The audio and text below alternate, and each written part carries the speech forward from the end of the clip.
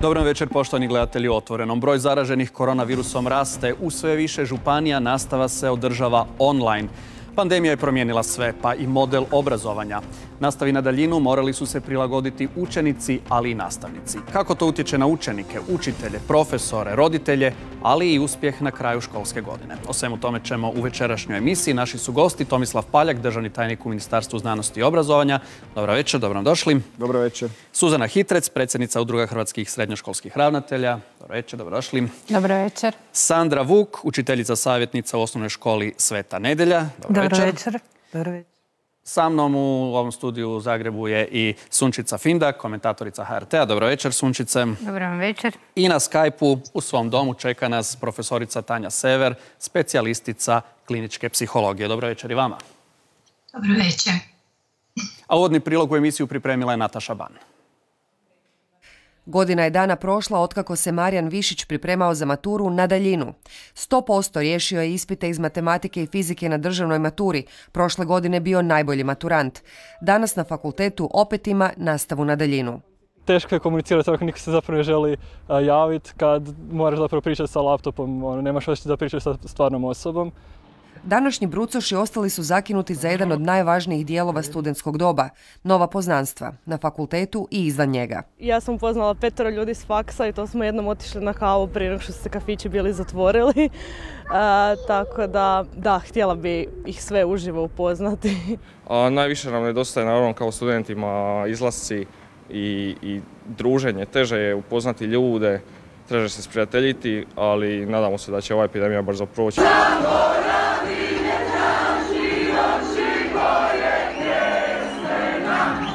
U Zagrebu njihovi su vršnjaci našli načina da se zabave na otvorenom. Jutro poslije kamioni sa smećem krcati. Deset je županija djelomično prešlo na takozvani C model, što znači da viši razredi osnovnih škola i prva tri razreda srednje imaju online nastavu. Grad Zagreb još važe, ali za sad je nastava u školama. Sretan sam zato što ne idemo na online nastavu, a zato što imam neke predmete koje bi volio poboljšati ocjene i lakše mi je to napraviti ako smo zapravo živo jer bi ujedno htio isteći znanje. Online nastava nikada ne može zamijeniti nastavu uživo. Ima djece koja se vrhunski snalaze, ali ima djece kojima je to jako teško. Istraživanja pokazuju da se online nastavi bolje prilagođavaju odlični učenici, a oni sa slabijim uspjehom malo teže. Pokazuje se da je osnovnoškolcima teža nastava online, srednjoškolcima njih 30% kaže da im je teže online nego uživo, dok 50% osnovnoškolaca to tvrdi. Zbog nastave na daljinu učenici pate od izoliranosti, pa će Nastavni zavod za javno zdravstvo proširiti mrežu službi za još barem dva mobilna tima, jer i oni su došli do zabrinjavajućih podataka. Podsjetit ću vas da smo imali više uh, uh, više djece koje su imala čak suicidalne ideje. Imali smo prije cirka dva i pol tjedna, nažalost, jedan suicid u jednoj srednjoj školi. Kako bi se lakše prilagodili ovim novim uvjetima održavanja nastave, uskoro bi budućim učiteljima mogli stići i novi poslijediplomski studijski programi. A riječ je o mentalnom zdravlju djece i mladeži. Dakle, nakon pandemije, kad pandemija, kada ovo sve završi, mi ćemo se dugi niz godina baviti sa posljedicama pandemije, posljedicama učenja na daljine, ove fizičke i socijalne distance.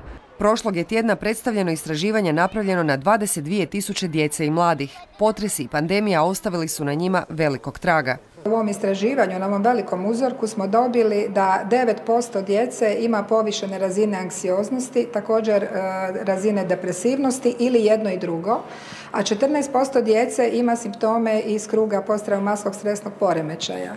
Nadalje, više od polovine ispitanih kad kad ima problema s koncentracijom.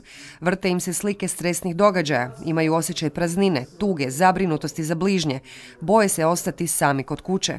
Sve to uz odrastanje koje samo po sebi nije lako. Podaci pokazuju da, dakle, da je najteže onoj djeci koja su u prijelaznim razdobljima koja bi inače bila razvojno prijelazna razdoblja kao što su prvašići, e, petaši, osmaši i brucoši Djeci i mladima najbolje ćemo pomoći tako da ih slušamo i pustimo da izraze svoje osjećaje, pri čemu i negativne osjećaje treba predstaviti kao normalne. I ja se ponekad bojim, i ja sam ponekad tužna, i druga djeca se tako osjećaju. Nemojmo im reći samo male bebe se boje, nemoj se bojati. Isto tako razvijajmo empatiju, nemojmo reći djetetu nemoj ići van pa jer ćeš ubiti baku. Nego ako se pridržavaš mjera, tako na taj način čuvamo svoje bližnje. I zato, kažu stručnjaci, treba promijeniti pristup. Ne treba svaki dan pitati djecu koju si ocjenu dobio ili dobila u školi, nego kako si.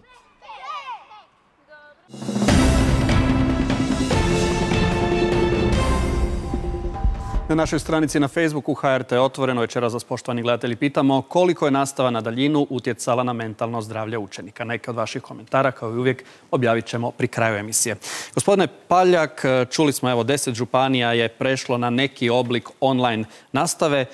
Zabrinjala vas to da je sve više županija evo u takvoj situaciji da moraju nije kraj školske godine, ali ono, u finalu školske godine preći na online?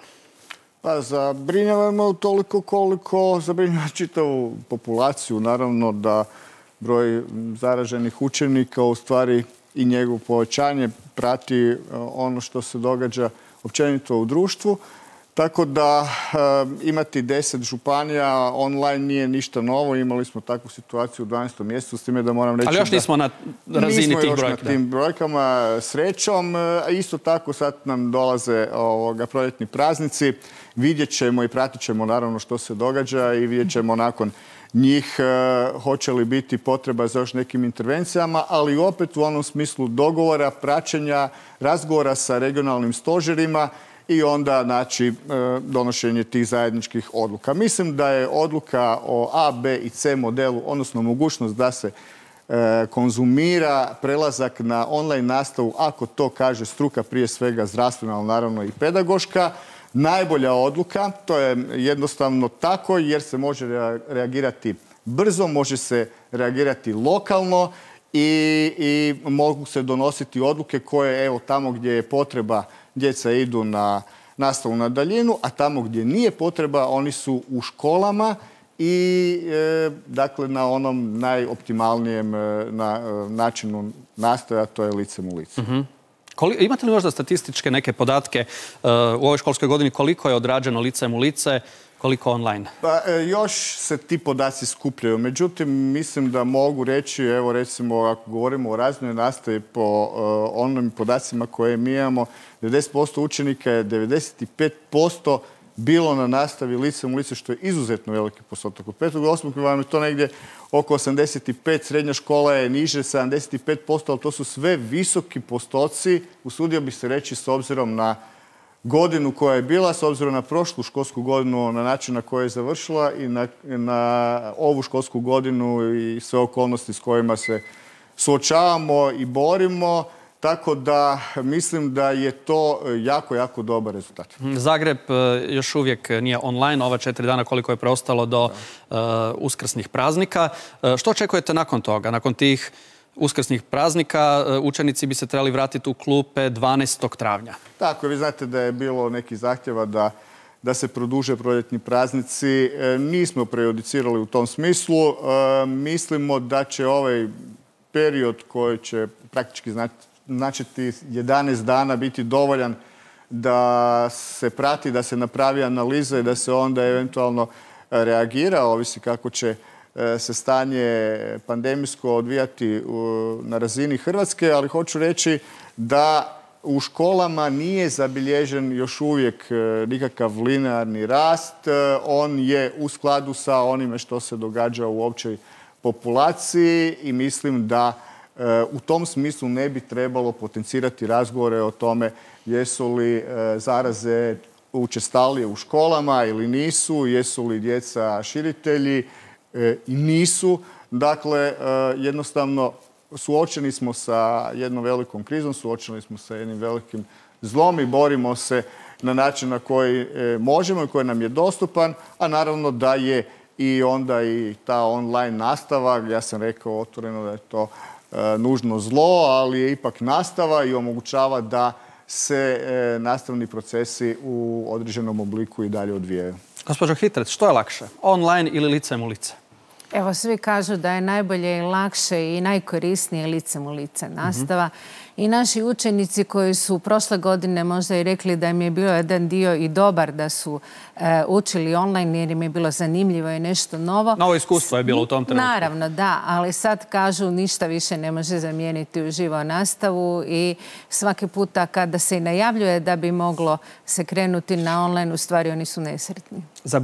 Zabrinjala li vas e, taj prelazak na online nastavu dva mjeseca prije kraja školske godine? Naravno, svih zabrinjava ako ćemo u ono ključno vrijeme e, provjere znanja, zaključivanja, ocjena provesti online. Međutim, nadamo se da će biti što je moguće manje škola, manje pojedinačnih učenika u toj situaciji i da ćemo moći biti uživo. Ono što bih htjela reći da se jako dobro držimo i to mnoge županije i mnoge škole su u stvari imale već sada e, puno više uživo nastave nego prošle školske godine i nekako smo pronašli taj model i jako je dobro što je ovdje ciljano i lokalno djelovano i da e, možemo nekako donijeti odluku i naši lokalni stožeri, a isto tako i same škole, e, da održimo maksimalno u korist naših učenika nastavu uživo. U mnogim školama trenutno i nema korone, evo na primjer i u mojoj školi, tako mhm. da e, mi nastojimo to zaista E, raditi maksimalno, a s tim da e, su tu apsolutno puno doprinijeli naši odgovorni učenici. I to treba reći, mladi su i odgovorni i oni su duboko svjesni e, toga da su posljedice po njih velike ako ne budu bili odgovorni. Gospođo Vuk, kome je stresnije? Učiteljima ili učenicima?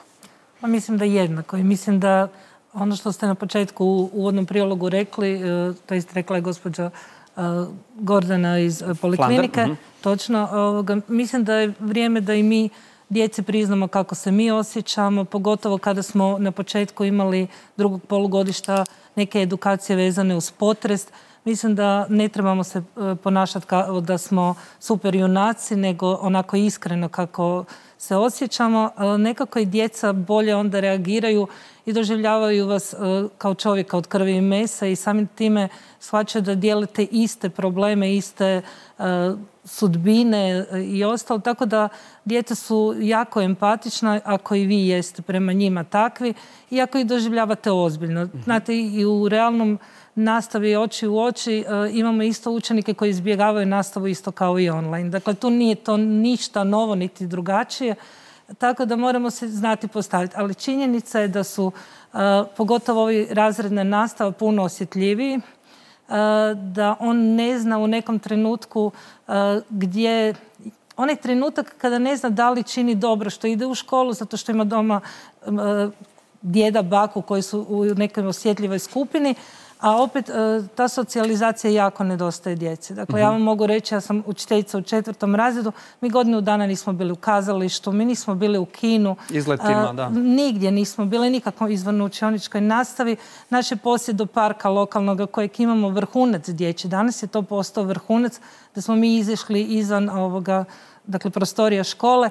Tako da je to jedna generacija koja je jako osjetljiva, izgubila jako puno, a još su mali, ali osjećaju taj nedostatak kojim stvarno im nedostaje druženja, socijalizacije, komunikacije i ostalo. Evo odmah pitanje onda i za e, gospođu Sever. Kakve su posljedice svega ovoga na mentalno zdravlje djece? Jedan dobar dio ste već čuli u ovome što su kolegice govorile o rezultatima istraživanja ono što zabrinjava zapravo je da najviše raste tjeskobnost djece. kad uzmete u obzir bilo koju dječju dob, onda ne mislite da bi jedno dijete trebalo biti tjeskobno.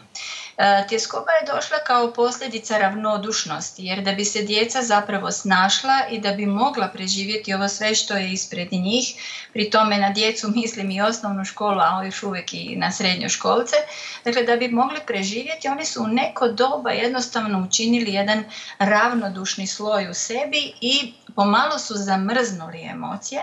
Jedna od izvrsnih definicija koja se događa uh, za depresivnost, dakle nije to te mjere depresija, nego depresivnost, um, je bijeg od emocije. Oni su pobjegli od nekih emocija koje su se zapravo bile potpuno realne dogoditi i na taj način su se zamrznuli kao sljedeći se kao sljedeća zapravo faza se dogodila anksioznost ili tjeskobnost. Ono što zabrinjava i treba javno govoriti, to je ogromni porast samoranjavanja djece.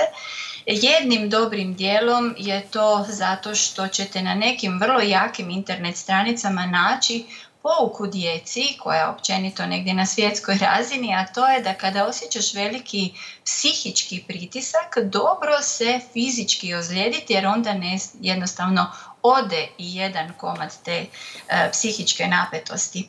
Dakako radi se o potpuno pogrešnoj priči i e, ta samoranjavanja su jednim dijelom e, vezana i za takvu informiranost, a s druge strane i zapravo su djeca jako pod pritiskom. Mhm. Ono što ovdje nije spomenuto, evo samo kratko, a to je da zapravo online nastava jednim dobrim dijelom udara na osjećaj kompetentnosti. Naime, ono što znamo svi skupa da je prvi val bio e, izazov, a sad je to već zasićenost. Čime su djeca zasićena? Zasićena su isporukom informacija isporukom znanja koje oni trebaju samo posložiti u neke svoje fajlove i time sami raditi. Ono što moramo ovom prilikom naglasiti je to da mi imamo ogroman pad radne memorije kod djece, tako da sva ta isporuka znanja dolazi u fajlove koji neće moći biti obrađeni i time raste osjećaj nekompetentnosti i strah za znanje. Sunčice, sve ovo što se događa u proteklih godinu dana, naravno ti pratiš u našim informativnim emisijama. Nedavno smo vidjeli i dokumentarac o toj temi online nastavi i za vrijeme pandemije i za vrijeme potresa u Zagrebu, odnosno na Banovini. Što kao novinarka zamjera? Što smatraš da se možda moglo organizirati bolje? E, ja sam kao novinarka e, izuzetno nezadovoljna ovakvim obrazovnim sustavom kakav je, a i kao pedagoginja koja sam po struci. E, naime, prošla je godina dana. Prije, godinu dana sve nas je to zateklo. Bilo je novo. Sve nas je zateklo, vas e, učitelje, mislim, naklon do poda, preko noći e, ste se morali suočiti e, kompletno s novim načinom izobrazbe naših učenika. Međutim, prošla je godina dana. Mi smo u tom dokumentarcu, pratili smo dakle godinu dana, pa tu su se neke stvari mogle i promijeniti. E, evo imamo e, možda jednu od e, najranjivijih skupina, a to su maturanti. Neću govoriti za prvašiće. Prvašići ono, evo, sad se naježim kad kažu teta, znate, mi nećemo kupiti novu torbu jer nam nije niti, ovoga, nisu, nije, nije nam se niti ovoga, malo potrgala ova torba pa nećemo kupiti novu torbu. Dakle, oni nisu doživjeli taj prvi razred ali maturanti koji ulaze u neki uh, novi proces, oni biraju neko novo zvanje i neki novi sustav obrazovanja. Dakle, oni, oni, on, njima se mijenja kompletno uh, život. Evo, ja sam sad ovdje, imam, zato imam mhm. ovaj papir. Međutim, malo smo istraživali i ovoga brojke kažu da su tu utrošeni i neki novci. Dakle, moglo se nešto u ovih godinu dana napraviti. Evo, brojke kažu ovako. Dakle, istraživali smo. Podrška, na, primjer, za te maturante moglo se možda eventualno nešto napraviti da se približi neka online matura. Neću reći da bi se mogla napraviti, ali evo ovako, sad po brojkama Dakle, e, podrška strukturnim e, reformama iz EU fondova bila je 400 tisuća eura za eksperte, a onaj veći dio 295 milijuna kuna za tri stavke, a prva je uvođenje digitalnog vrednovanja online mature, 50 milijuna. Pitam se gdje je to? U redu. E sad, možda bi maturantima recimo bilo lakše da su imali neki oblik online mhm. mature. Ne govorim cijelokupno, ali možda se u tih godinu dana moglo nešto napraviti. Dalje brojke kažu. Što se dogodilo sa reformom školstva? Mi govorimo o online nastavi. Je, ali to ne znači, evo kad je rekao ministar, licem u lice i to svi, zaista ono, svi pozdravljamo i tu uopće nema ovoga dvojbe da je nastava uživo nezamjenjiva. Ali kad se govori o nastavi uživo, to znači podrazumijeva, znači reformu obrazovanja je netko i donio, donijela je, donio Sabor tu reformu obrazovanja. Evo, i za tu reformu ovoga e, školstva izdvojila se milijardu i tristo milijuna kuna. Što to znači? da djeca ako su recimo ako su, imaju online nastavu da ne treba imati kvalitetno obrazovanje pogotovo ako je licem u lice što to znači? Covid jednako nema reforme, nema, nema, nema adekvatnog obrazovanja. Složit će se ovoga, Gospođa Vuk. E, učiteljica Vuk, koju iznimno cijenim e, i koja se ovoga stvarno dala u ovo sve, e, ali i svi ti učitelji i profesori se stvarno trude da ta nastava bude, ali, ali tu postoje neki novci. Prema tome, samo malo prostite da završim, prema tome mene samo zanima uh, je li se to moglo i nešto kvalitetnije? Možda i roditelji su tu involvirani i roditelji su tu učili. Je se njih sve pripremilo? Evo, to je moje pitanje. Gospodine Paljak, vi ste ta adresa. Da, apsolutno. Je, sad moramo, moramo razlučiti u kojem vremenu razgovaramo. Godini Ako dana. razgovaramo Godinu dana, o jel se moglo godinu nešto dana maturantima olakšati? u prvom valu, onda ću se od toga ograditi, jer tada nisam participirao u ministarstvu, ali ako govorimo o ovome što nas je kasnije zahvatilo, e, o tome možemo govoriti. Naravno da je napravljeno puno toga, odnosno jako puno više od onoga što smo imali, ali naravno da možemo pripisati e, iznađenje, pandemija, globalna kriza i tako dalje. Podsjetit ću samo, dakle, da ti modeli nastave koji su napravljeni su praćeni sa e, pripremom da ta online nastava bude kvalitetnija, sadržajnija i ona jest takva. U prilog tome govori preko 6000 video lekcija koje je napravljeno i koje prate dakle izvedbene kurikule škola na trećem ide dalje. Jedan mehanizam od preko stotinu stručnjaka koji se time bavi svakodnevno. Dakle, e, govorimo o nečemu što prije nismo imali, a sada imamo. Naravno da platforma koju nudi na kraju krajeva i taj online se može e, razvijati, nadopunjavati, ali kad govorimo o novcu, preko 200 tisuća tableta je u školama, preko 55 tisuća e, prijenosnih računala za učitelje je u školama. Dakle, napravljen je i taj iskorak. Ako govorimo dakle o nečemu što je sadržajno drugačije, onda imamo što za reći. A što se tiče reforme, ona e, ne, nije nigdje zastala, ona ide dalje, ona se možda toliko ne potencira u, u javnom prostoru jer nije ni potrebno, ali doduše ide naravno prateći sve ove objektivne teškoće koje imamo. Maturanti? maturanti, apsolutno. se moglo njima olakšati? Apsolutno, pa to, e, dakle, sadržaj koji gikovi prate je već uključio ono što je prilagođeno za ovu pandemijsku godinu i za maturante. E, ono što nas posebno naravno brine, a da ne mislite da nismo reagirali recimo na potresom stradalom području, ja sam član nacionalnog stožera i praktički živim tri mjeseca dolje.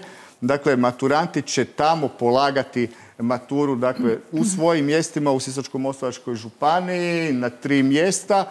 E, također će ovoga, oni već imaju i u procesu su dodatne edukacije i oni e, subotama imaju svoje mentore koji im pomažu da u tim teškim vremenima što bolje sladavaju gradu, jer znate sami da državna matura je unificirani e, test koji, na kojima se suočavaju svi bez obzira na, na načine i preduvjete na koje su radili. Dakle, ne bih se složio da nije, a što se tiče naših usporedbi, kad govorimo o online nastavi, onda mogu reći na, e, i kao e, učitelj, a učitelji su inače i pedagozi i psiholozi, da, e, recimo najveća regija Skupština Europe je napravila jedno istraživanje, priključilo se pet zemalja u kojima su neki podaci u europskim zemljama govorili da 50% učenika nije bilo u mogućnosti uopće doći da i ima online nastavu. Dakle,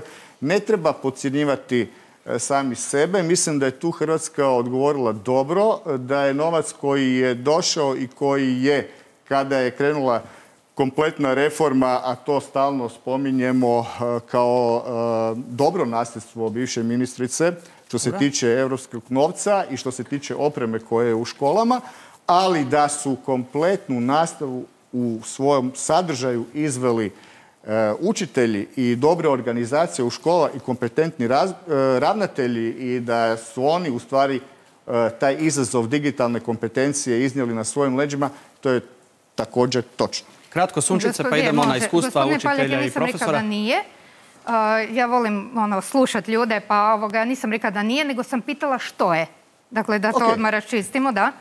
A, ovo sve što vi govorite, to je sve zasluga naših učitelja i profesora. Da, ok, ne, pa da, naravno. samo to, da se to razjasni. apsolutno. Da se oni nisu snašli. Apsolutno, da, da, da, e, dobro, samo da se to naglasi. Tu, tu nema opće dvojbe, tu se slažemo svi. Ovaj, hoću reći da, je taj jedan suport tehničko-logistički također bio u odnosu na početak e, ipak malo drugačije. Gospođo, kakva su vaša iskustva? Ja sam zapravo htjela i odgovoriti gospođi Sunčici i gospodinu. Stvar je zapravo, ja sam potpuno razumjela pitanje. Gospodin priča o digitalizaciji i opremi, gospođa Sunčica o sadržajima i znaju li uopće učitelji i roditelji to koristiti. Mhm. Koliko je, bilo problema oko toga? Tu je velika razlika i tu trebate, e, dakle mi možemo pričati da je sustav podržao i sve ostalo. Ja osobno na svojim vlastitim leđima sam e, podigla sustav od 11.000 učitelja, profesora i nastavnika. E, bez jedne kune s ovog popisa. Ja i dan danas, prije nego što sam ovdje došla, odradila sam takvu jednu edukaciju učitelja na kojima je bilo 276 danas, dakle, učitelja koji su prisustvovali edukaciji. E, stvar je u tome što e, možete vi imati i najsuvremeniji laptop ako ne znate se koristiti s njima. Možete vi imati super modernu pametnu ploču ako se ne znate koristiti s njima. S druge strane treba sadržaj za to da projicirate i sve ostalo. Ono što je meni bilo važno kao učiteljici da dođem do svakog učenika, da dođem do učenika koji ima internet i koji nema internet, da nađem način komunikacije kako ću doći putem roditelja do učenika, i kako će mi učenik na neki način odgovoriti. Također, potpuno drugačiji metodički pristup. Nema tu e, radna bilježnica stranica 23. ili glede školu na trećem, mislim neko je to morao, ali e, potpuno je danas u ovo suvremeno doba drugačiji način i pristup rada. Traži se da oni istražuju, da oni sakupljaju, da oni promatraju. Potpuno je drugačiji i više nije 45 minuta sat online. Kogod vam to kaže, to, taj nije pročitao, ne znam, zadnje istraživanja, zadnjih deseta godina. Deset minuta niti vi ne gledate, 45 mhm. minuta ni vi ne gledate u svoj mobitel. Razumijete? Dakle, to je nešto, današnja mladež voli brzu interakciju, brzi sadržaj i koji mu je uvijek dostupan, koji može pogledati. Bilo da je riječ o maturantima ili sve. Dakle, ako maturantu nešto ne ide, on želi nešto ima dostupno, a ne da gleda 45 minuta e, poprilično lošeg i, i govornog materijala gdje ne znate što je pisac htio reći. Mm Gospođo Hitrec, koliko se zaista teško koncentrirati kod online nastave učenicima ispred monitora? Da, teško se koncentrirati učenicima, ali isto tako i nastavnicima. Evo i moji nastavnici kažu da nakon šest sati odrađenih za redom ispred monitora da je jako teško, da se osjećaju kao nikad prije u razredu. E, tako da je to problem i sve što su prethodnici rekli da e, pada koncentracija, da pada motivacija, e, dakle da tu trebaju biti neki brzi sadržaj i da nastava nije takva i mhm. teško da i može biti takva, da se može pretvoriti u TikTok sadržaj koji će biti zabavan u svakom trenu učenicima. Dakle, tu treba stvarno naći jedan balans i zato je potrebna i velika podrška i nekako kolegijalna podrška upravo kolega koji su sami proživjeli to, koji znaju dati neke savjete koji razumiju u kojoj situaciji. Je li im teško učiti i kakav je zapravo uspjeh? Kakve su ocjene kada pogledamo prošlu godinu i ovu? E pa, kad jesu li slabi, jesu li popustili? Jesu. Kad gledamo prošlu godinu, nikad nije bilo bolje, ako gledamo po ocjenama. Dakle, Dobro, bio je štrajk, bio štrajk pa su malo išli u školu, onda je došla nažalost pandemija. ocjene i izvrsna prolaznost.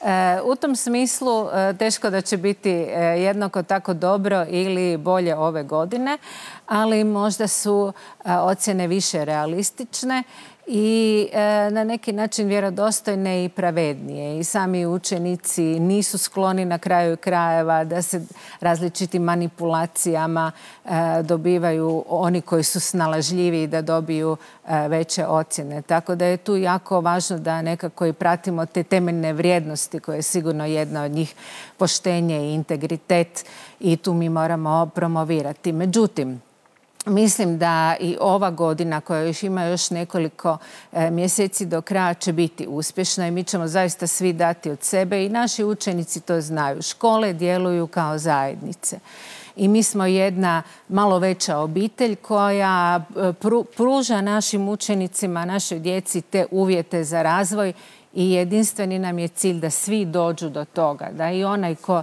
nije imao uvjete, jer i ove godine se tu vidjelo da nisu svi imali iste uvjete, od pojedinaca pa do recimo nekih škola ili županija koje su bile daleko više online, nego što su to možda bili neki drugi, dakle nisu isti uvjeti, da na kraju dođu do približno istih ishoda i što je moguće boljeg uspjeha.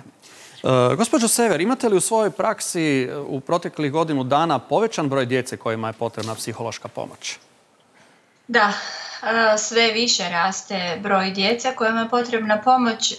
Ono što je indikativno, niti u prvom valu, niti sada, pomoć ne traže djeca koja imaju problema sa socijalnim kontaktima. Dakle, pomoć ne traže pseudoautisti, oni koji su na spektru autizma, oni su sada dobro. To vam je dovoljno jasan pokazatelj tko zapravo u ovim uvjetima može najbolje živjeti. Oni koji, mi to kažemo ovako, odnosno mladi kažu frikovi i gikovi. Svi oni drugi koji trebaju živu riječ koji trebaju otvorenu i jasnu komunikaciju zapravo su u poteškoćama. E, emocionalno osjetljiva djeca, ali e, više emocionalno nesigurna djeca su ta koja nekako najčešće i najviše traže i pomoć. Mhm. E, dodala bih samo da u ovim karikama koje ste ovdje spomenuli da je cijela ova nastava dobro tekla, zaboravili smo jednu jako važnu kariku, a to su roditelji. Mhm. Dakle, roditelji su ti koji vrlo, vrlo često djeci prevode nastavu i koji zapravo s djecom uče ono što su djeca na nastavi samo čula. Dakle, u e, mentalnu ladicu e, radne memorije dospijevaju informacije, a onda ih vrlo često s tog španjolskog jezika, kako su to djeca na nastavi čule, prevode roditelji ili djeca putem nekakvih istraživanja. Što se zapravo dogodilo? Djeca od prvog do četvrtog razreda su jako ovisila o umješnosti svojih učitelja i vrlo često te nekakve njihove emocionalne nesigurnosti nisu bile tako velike.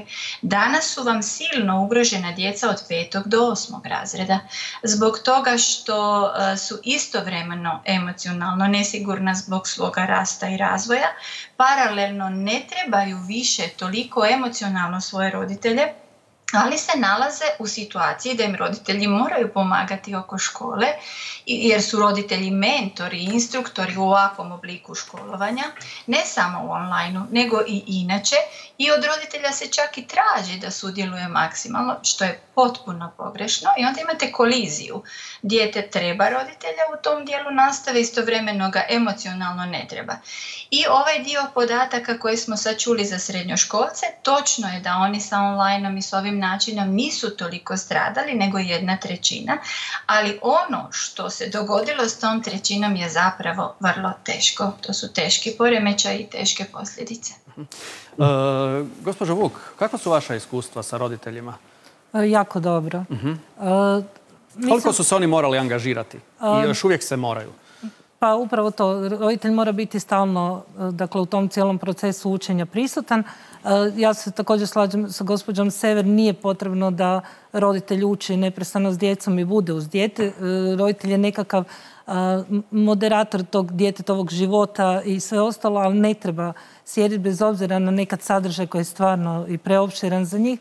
S druge strane, stvarno sam imala jako dobar kontakt e, do djece do koje nisam mogla doći što zbog veza, što zbog lošeg interneta, što zbog mhm, mhm. nemogućnosti ovoga uređaja. Stupala sam s roditeljima u kontakt, roditeljima sam prenosila. Vrlo brzo, to je bilo zapravo, zato velim da sam jako zadovoljna s roditeljima. Roditelji su otišli do prvog dućana koji je u tom trenutku za vrijeme lockdowna prvoga radio, kupili slušalice, kupili mikrofon, sve. Mi smo tijekom cijelog prvog lockdowna imali dva puta tjedno nastavu u virtualnoj učionici. Karnetovoj virtualnoj učionici. Ono što je bilo važno, mi nismo imali nastavu kao nastavu, mi smo vam slavili rođendane, e, Patrikov imendan, mi smo proslavljali e, uskrs i ostalo, jer njima je to nedostalo. Njima je taj socijalni kontakt, da oni vide svoju učiteljicu Imala sam djevojčicu koja je bilježila u 56 dana. Ja sam imala jutarnji pozdravni video 56 dana kojim sam rekla što od njih očekujem, kakav im je dan i ostalo. I bilježila koliko puta sam imala crvenu majicu na sebi, istu 12 puta. Od 56 dana 12 puta sam se pojavila u istoj majici. Hoću vam reći da je zapravo to pokazala njezinu prisnost, da je to dijete pogledalo taj video i nekoliko puta, da je e, na kraju, na početku dana pogledalo video i na kraju dana da vidi da li je ostvarilo sve ono što učiteljica od nje tražila. Tako da ja, stvarno, tu su sve pomogli roditelji. Ono što tu upravo gospođa Sever je rekla, e, mi nismo educirali roditelje, znate, to je bio veliki problem. Onda profesor jedan želi na Teamsu, drugi želi u Google Meetu, ovaj treći Roditelj to ne zna, pa roditelj nije niti učitelj, niti e, za to educiran da on zna gdje će uloviti kojeg profesora. Mislim da je tu trebalo biti puno ozbiljniji, da kao škola radimo na tome, na tom sustavu, a ne da djecu zbunjujemo. Svaki profesor ima svoje afinitete, ja volim sličicu, ja ne... Mislim, to je stvarno zbunjujuće bilo najviše roditeljima. Tako da ja sam koristila jednu platformu i to je bilo u redu. Sunčice, e, na terenu što kažu roditelji? Da, ova situacija je donijela zapravo nekoliko, ako možemo tako reći, dobrih stvari, a to je da roditelji zaista postanu svjesni koliko je učiteljski posao težak, zahtjevan i tako dalje. E, I kažu da im je to bio veliki problem. Oni su sad već umorni od ove mhm. online nastave. Ali isto tako tu je došla jedna, do jednog povezanosti na drugačiji način što je recimo ajde dobro. I druga stvar što je ovo, ova situacija ovoga iznjedrila, to je da se e, ponovno pokaže koliko je zapravo nejednakost e, u našem društvu e, glede našeg obrazovnog sustava. Evo, vi ste sami rekli, neki imaju signala, neki nemaju. Ja stalno po tome, ovoga, stalno sam bila na terenu i to je nedopustivo da u 21. stoljeću jedno dijete ne može poslati zadaću putem interneta i nema veza signala. Pa to je nedopustivo i to, to je zapravo, to, ovo je zapravo Ovoga, iz ovog trebamo i neke stvari dobre povući, a to, to bi bilo dobro, ali pitanje je hoće li se to dogoditi. Dobro. E, htio bih nešto reći kao roditelj e, kćeri koja je maturantica, dakle mhm. proživljavamo ovaj dio koji nas čeka sad sa polaganjem državne mature. Mogla je online imati Druga koja je na Brucošica na faksu i koja sve radi još online i koja još nije vidjela svoje prijatelje uživo. E, I sina koji je prošle godine u onim uvjetima završio osmi razred i sad je u prvom razredu gimnazije.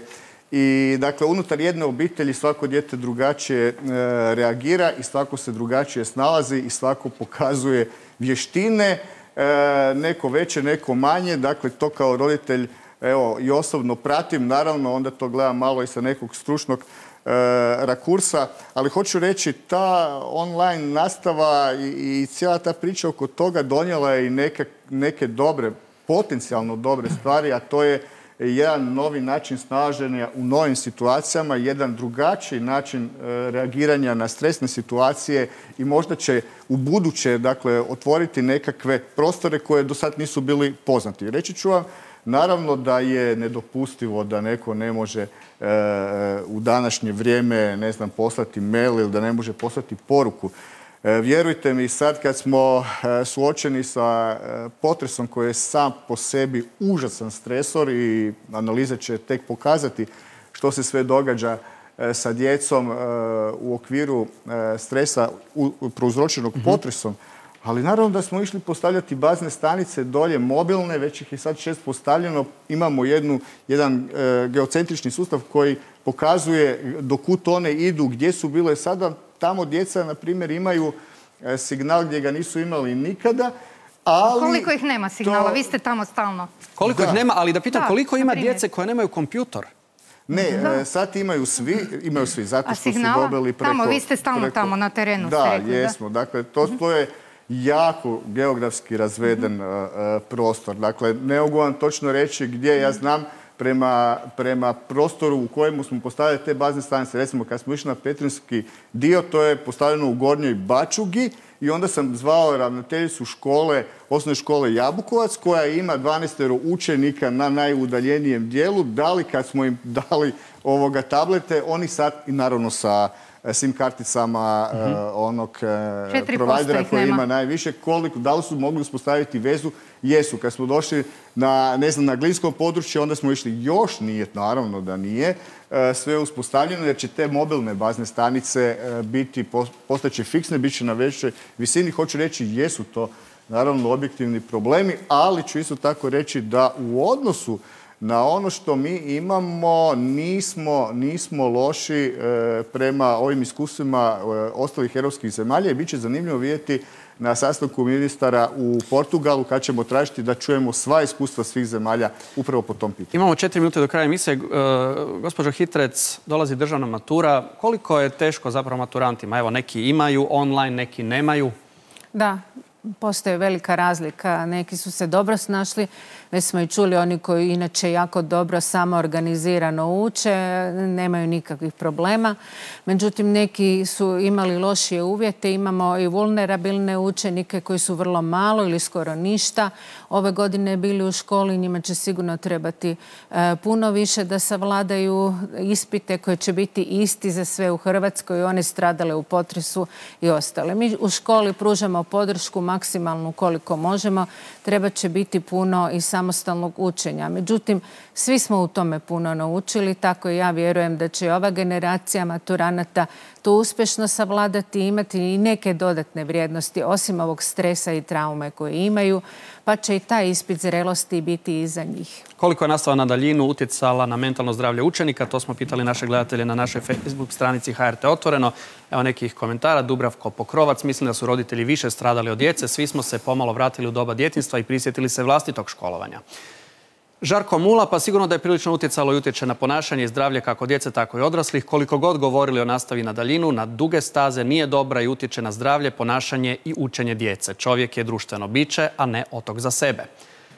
Dijana Viduka, ministarstvo mora prioritetno upotpuniti stručne službe u školama i osigurati psihološku podršku učenicima. Sustavu u kojem dijete više od pet mjeseci čeka na razgovor s privatnim psihologom ili psihologom u javnozdravstvenoj ustanovi je neodrživ, a posljedice su vidljive već sad. Santiago David Morales, student sam i mislim da ova pandemija, odnosno karantena, izolacija negativno utječe. Jutro sam imao ispit i prošao sam ga, ali ovo definitivno nije dobro ni za koga od nas. Jako sam nervozan, popijem dnevno i do sedam kava plus cigarete. Na momente sam dobro, ali ponekad se jako čudno osjećam. Kažu da bi pandemija trebala završiti prije ljeta 2022. godine, a kakvi ćemo tada biti, to samo Bog zna. Bruna Ljubičić, kao prošlogodišnja maturantica mogu reći da je pandemija loše utjecala na psihičko zdravlje učenika, preopširno i nepotrebno gradivo i prije pandemije bilo je problem hrvatskog školstva, a manjak vodstva i potpore institucija samo su pogoršali situaciju. Online nastava nije imala dnevni raspored i strukturu, a pritisak na učenike da sve obavljaju pravovremeno, točno i nakon samostalnog učenja u svoja četiri zida bio je prevelik. Ne samo da su nesigurni zbog nestečenog znanja tijekom online nastave, nego su usamljeni, neshvaćeni i nervozni. Dragica Grubiša, jedna od malo gorih stvari je što trećina naše zemlje nema signala, pa djeca s roditeljima po brdima vuku kabele da bi mogli pratiti nastavu. Evo, o tome smo upravo malo prije razgovarali. Gospodine Paljak, je li ministarstvo pomoglo školama u pružanju psihološke pomoći djeci? Da, pa ministarstvo ima svoje mobilne timove, ali oni su sinhronizirani, odnosno surađuju i sa mobilnim timovima za psihološku pomoć koje djeluju u okviru Crvenog križa, također Hrvatskog psihološkog društva i e, dolaze na poziv. E, mi puno ne pričamo o tome, ali doista ravnatelji kad uočavaju i kad imaju potrebe dolaze ti timovi i oni djeluju dakle i prema učenicima, ali i prema nastavnicima koji su također proživjeli traumu, djeluju prema ravnateljima i prema roditeljima. Evo ovdje, ovdje, ovi komentari u stvari govore upravo zašto se ministarstvo trudi da pokuša svu nastavu ipak kad je god moguće staviti e, licem u lice, a ja ću vam reći Sisačko-moslavačka županija krenula drugo polugodište sa 17% na A modelu, sad smo na 97% unatoč razrušenim zgradama. Brojke nam rastu, rekao sam na početku, vidjet ćemo kakva će biti situacija. Nadam se da će ova e, školska godina biti uspješno okončena. Rečenica za kraj svatko. I ova će proći. I ova će proći, a vidjet ćemo kakva će biti ona sljedeća. Sunčica. Maturanti, držite se. Pa ja mislim da svaka kriza donosi nešto dobro. Jačamo i nešto novo naučimo. Ja stvarno tako i djecu odgajam u svome razredu. Gospođo Sever, što imate poručiti za kraj djeci, roditeljima? Smanjimo pritisak sa djece i omogućimo im konkretno znanje. Što manje informacija, više konkretnog znanja. I s ovim porukama ćemo završiti večerašnju emisiju Otvorenu u kojoj smo govorili o školi na daljinu. Hvala vam na dolasku, hvala i vama gospođo Sever na uključenju putem Skype-a. Hvala i vama poštovani gledatelji što ste bili s nama. Gledajte nas sutra u isto vrijeme na istom programu. Ugodan nastavak večeri. Doviđenja.